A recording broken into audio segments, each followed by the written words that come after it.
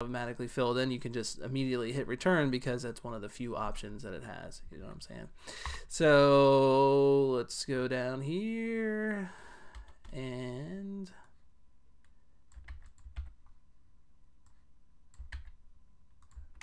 paste that in there. And you can see with just a few um, things that we, we've set up so far, we're already getting into a point where like we've got a lot of these add properties things. So you might want to go and write uh, uh, IB objects and then step down here, put a little note that these are going to be integers or booleans. And you know uh, a boolean value basically is still just a number. It's um, zero or one just depending on whether that's uh, no or yes accordingly. And uh, let's see we can now jump back over here to our implementation file. And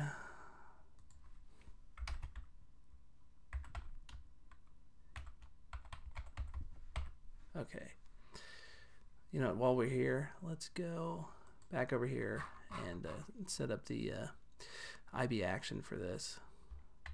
So I'm just gonna paste this out, IB action, and this will be like, how about an obvious name, button press. Jump back over to our implementation file. Doesn't really matter where we write this, so I'm just gonna find another IB action and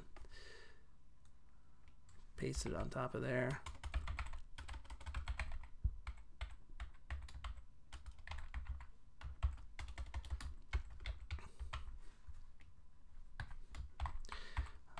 Let's just go ahead and put in here a log statement. Uh, what should we what should we spit back out? Is there anything interesting we can think of? Ah, whatever.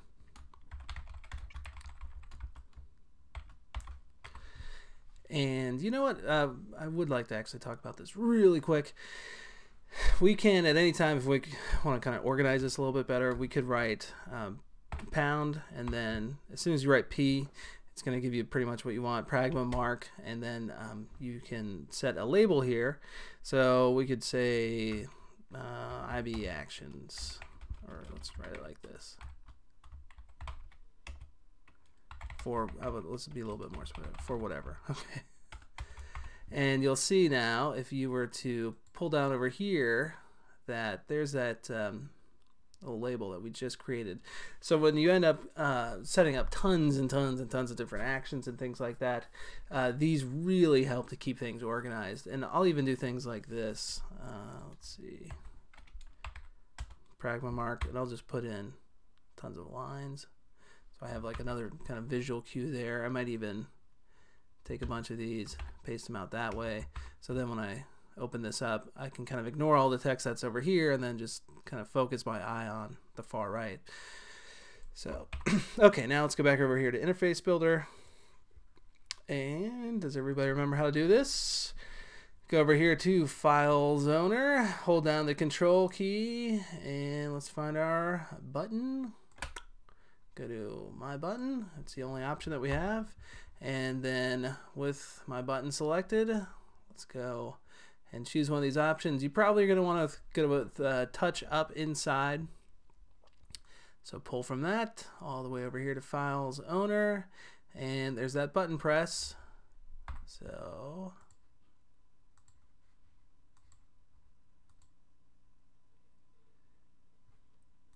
no, press me button press. Okay, so quit that out. Okay, I think it is about time to close things down. This is uh, heading to be towards a, a two hour lesson, and we've got plenty more training to go. If you guys are seeing this tutorial immediately after uh, I released it, which is, I guess, what's today's date? It's somewhere near Valentine's Day, February 12th.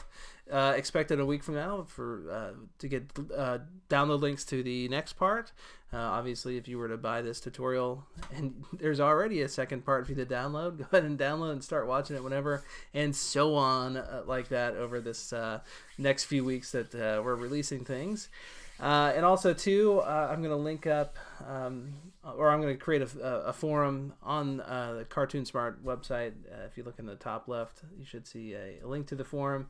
And if you scroll down to iPhone, there will be a dedicated forum uh, for communicating your requests to me regarding uh, things you'd like to see. I obviously kind of have a roadmap sort of sketched out here for things that we're going to be going over. and definitely all of them are in some way gaming uh, related, just you know stuff that I think is going to be uh, useful to uh, anyone wanting to create a game. Things like the accelerometer and all that other super fun stuff that the uh, iPhone is capable of, and um, you know sounds. Uh, really, just you know anything I've done so far, I'm going to try to teach. Uh, also, uh, also, what else? Oh, also, I would like to uh, have you guys work a little bit on your own, of course.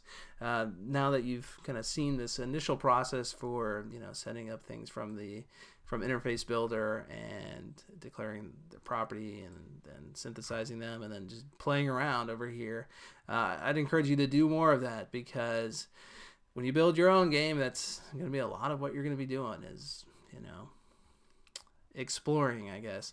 Uh, over here in Interface Builder, uh, there's things in the library I would say, though, don't worry about trying to mess with right now. Um, these controllers up here, don't worry about them. Uh, if you want to play around, I would recommend. This is an easy one. Text view, uh, the scroll view is kind of self-explanatory. These are not so much so. Uh, maybe the date. Well, nah, I, I wouldn't mess around with them too much right now. We will talk about the picker view certainly because that's a great one for a for a preference in a preference file. Uh, let's see, we've already uh, played with that some. Keep playing with it. A label, that's easy. Buttons, easy. Text field, that's kind of well. You can throw that on stage and you can click on it. You, you might have trouble releasing the text field. Uh, we'll, we'll get into that later too. Switches are pretty simple. Uh, sliders, pro uh, I haven't done a progress view actually. Activity indicator view, that's kind of um, that's a really simple one. It just kind of animates while it's doing something, or it kind of animates when you tell it to, and then you stop it animating. So you could try that one. Uh, if you want, you could also let's see. You could probably figure out what to do with the toolbar. Yeah, I think you could do that. Um, I believe the bar button item is something that you add on to the toolbar, so you need to do that first and then drag that on there. Um, the same with the spacing. These guys, uh, so so I think there's a lot that you could just kind of play around with and essentially just exercise, you know, with right now. Do a, follow the same kind of pattern that we set up through here and play around. So I'm gonna leave you guys uh, these files as they are. Obviously, ignore all this stupid stuff up here. You don't really need to, see, you know, created by whatever. Um, and uh, I will see you guys back here soon enough.